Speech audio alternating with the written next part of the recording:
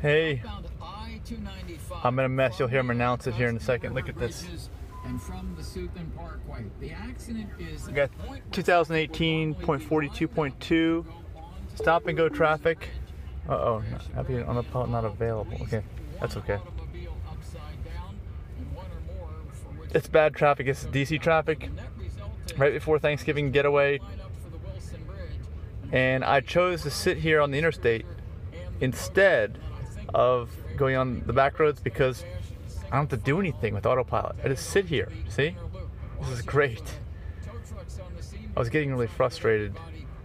Now let's, see what, let's listen to what the traffic is on 95 north. Toward 210 and to join the outer loop. See right here, I think the road's that closed. On the Beltway, looking for the big bridges. The outer loop delays. That's still Beltway. We're on 95 north, south of the Beltway. And through Oxon Hill, past Andrews, Greenbelt, and College Park, there are stretches where it is just plain heavy and slow, with commuters and travelers passing through on the inner loop from College Park toward Still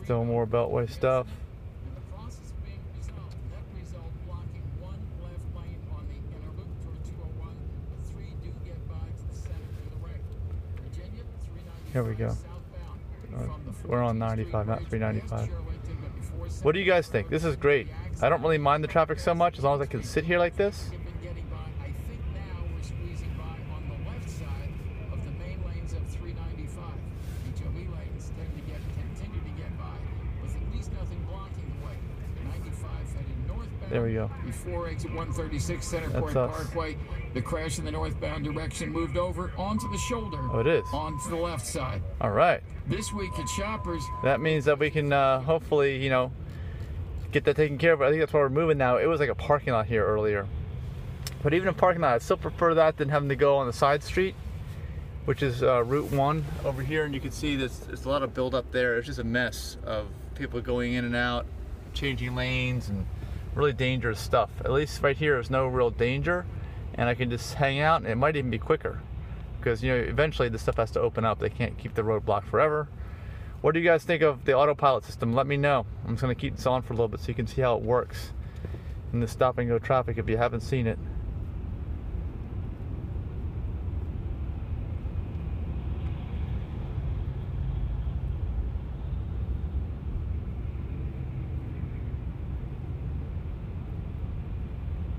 Yeah, see, this is telling me to get off the road over here.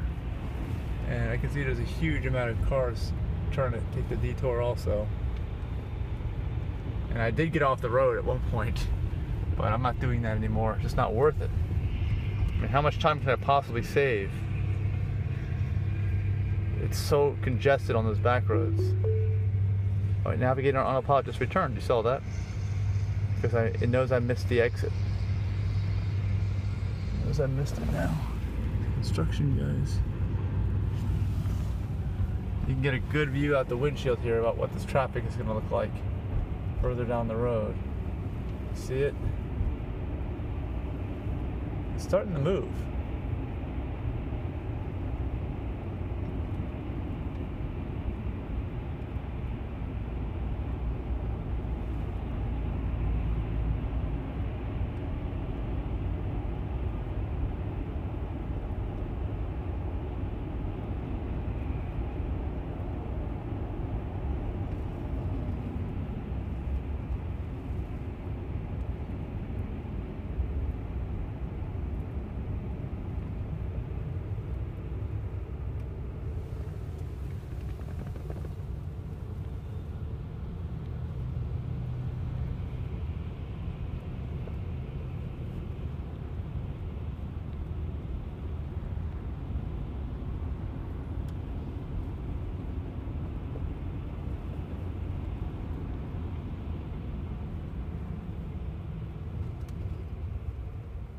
See, it, it braked. See, that's, it's interesting when you, do, when you do a little panic stop like that. It doesn't stop and then hold the pedal and stop short like a human would, and it doesn't wait too long to panic brake either, which results in like a totally jarring braking action when it happens. It, it does it real smoothly. I mean, I thought that was very smoothly considering it was a panic stop. It kind of smooths out the panic stops of the traffic in front. That's been my experience.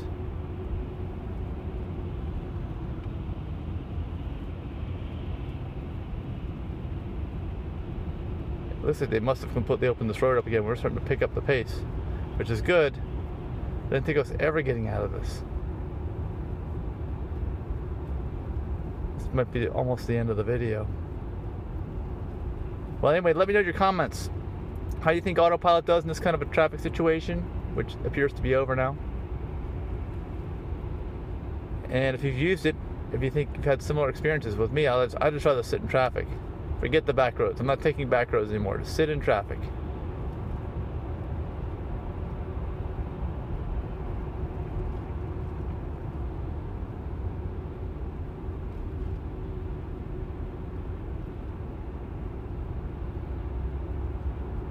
All right, well, be sure to like and subscribe.